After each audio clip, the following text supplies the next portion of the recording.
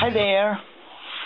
Today I will play with my big art journal which I already taped in the middle so I could preserve the colors and I also decided that in my next few videos uh, I will be using all the novelties which I bought and the reason is why I will do that because usually I have a really big pile of stencils. I mean really really big pile.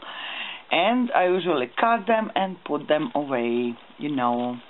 And even though it is the, the situation that um, I use stencils, I use a lot but uh, I just noticed that I always pick up the same ones so this is why I decided that until I use them all the new ones I cannot go and pick some old ones.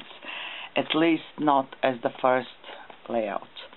Um, these are my new items which I bought so this will be in focus at least. So I will speed it up and catch you guys at the end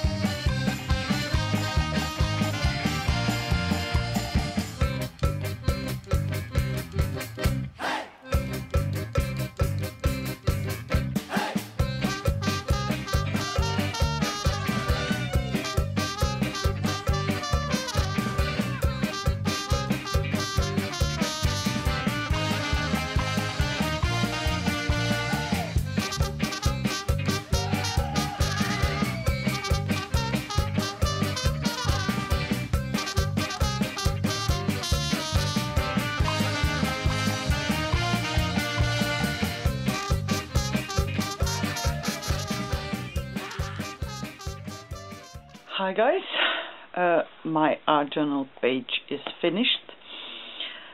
I used so much of this distress glaze because I thought that I will preserve each layer of the this mist.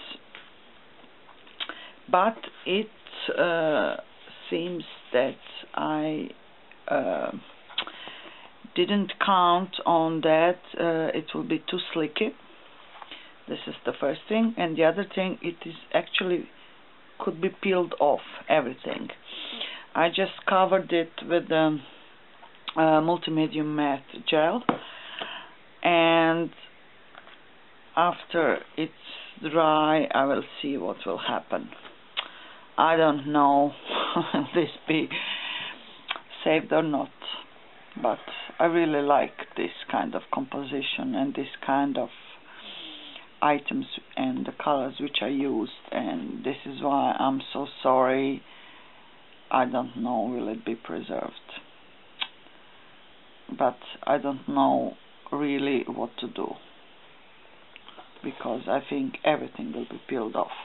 I think when this glue will be it's actually still wet but I think when it's going to be dry when you press and try to do another page.